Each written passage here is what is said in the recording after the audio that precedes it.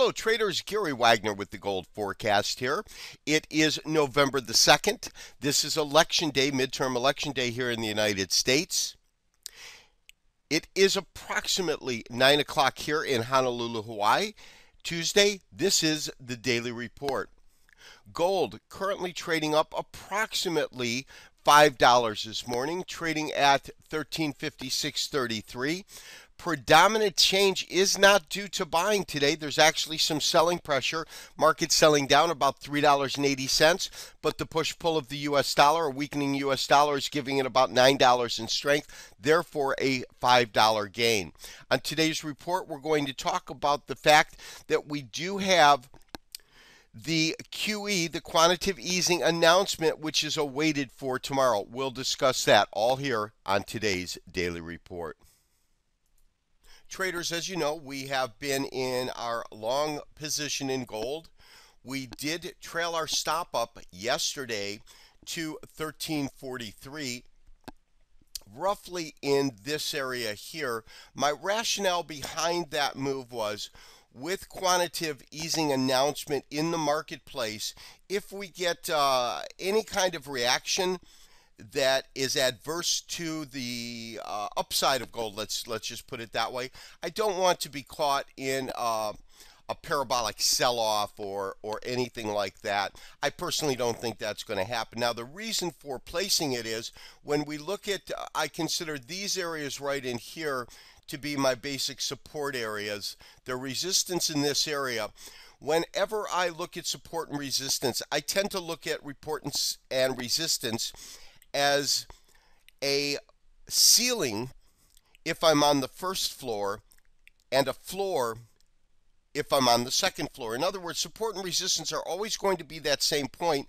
It's really the vantage point. When you're above it, it becomes support. When you're below it, it becomes resistance. So that these points of resistance should become support. So for that reason, I did recommend that we place it, as I said, at 13 43, my recommendation is going to be to hold tight with that, keep our stop there for right now. I want to see how the market reacts.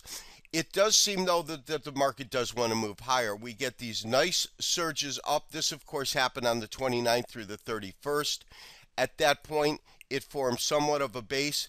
This is that sell off that we witnessed the other day uh, when the market did come down $10. But as you can see, it went ahead, it formed a base, and then it started actively trading to the upside, coming down just a little bit with a low uh, 1350 right in here. And as I said, is currently up right now approximately 5 to $6 higher.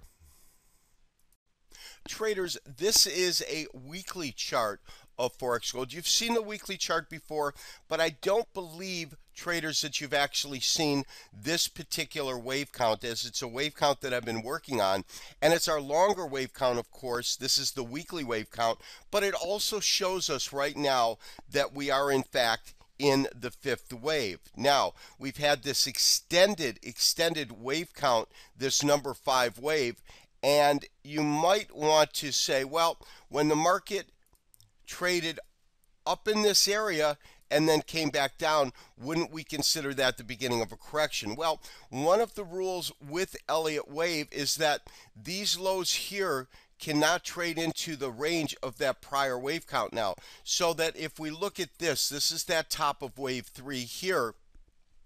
As the marketplace itself trades higher, it does come down, but as we can clearly see, because it trades within that range, we still have this wave fully intact. Now, we did get this small retracement. Now, this retracement is where we're going in on our daily from wave 3 to wave 4. But as you can see, it is still fully intact. But here's the thing.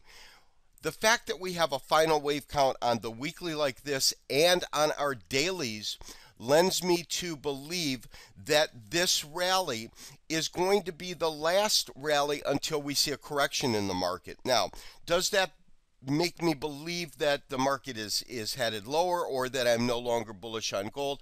Absolutely not.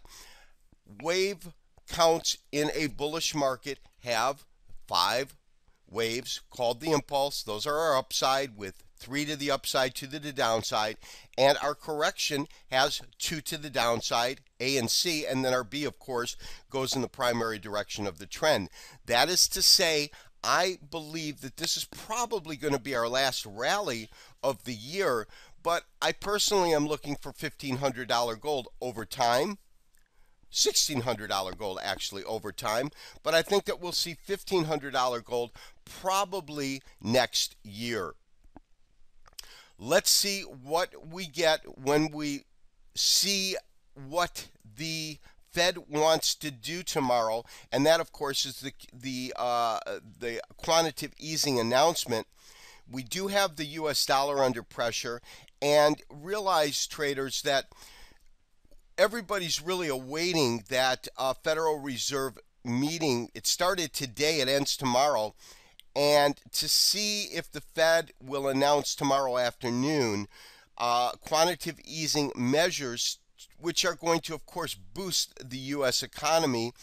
Right now, traders have been looking at what we call uh, moderate stabs in the market, meaning that they'll probably inject about the talk is 500 billion, but the total focus in terms of what the belief is, uh, in terms of how much capital will go into the market, the number that I've heard is is anywhere between one and 1.5 trillion, starting with this 500 billion tomorrow we'll have to see what happens itself. This has been Gary Wagner wishing you, as always, good trading, and we'll talk to you tomorrow.